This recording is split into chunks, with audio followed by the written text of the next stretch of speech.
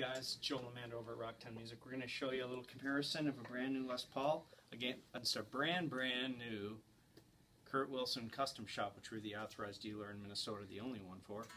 And there's just some things that are beautiful about the guitar, obviously. I mean, it's just a beautiful slant top, beautiful set neck, Grover tuners, Fralin P90s ebony fretboard, which is really not something you'd see in Gibson anymore, and that makes it play, you know, in my opinion, it plays much better. The strings just smooth. It's a much better playing guitar in my opinion. But let's just talk tone, and you can decide on that. So we're going to plug into a very inexpensive $200 tube amp.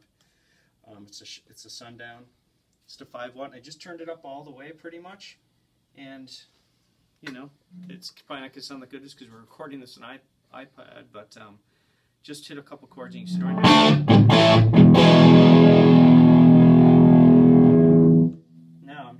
Unplug the cable and I'm going to do that same three chords over here.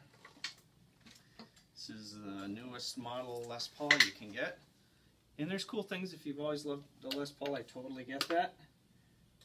But let's just plug this in and see. It's a little noisier, obviously.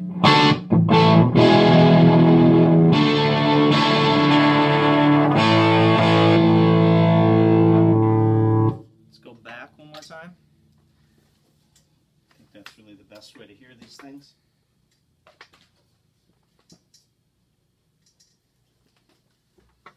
And we're going to check this guy out again. And that was with the tone knobs, as you can see, all the way to 10 there.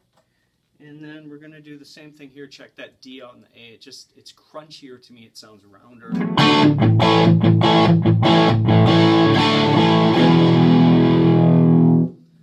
On down, try either one out. Low price guarantee on anything these guys make.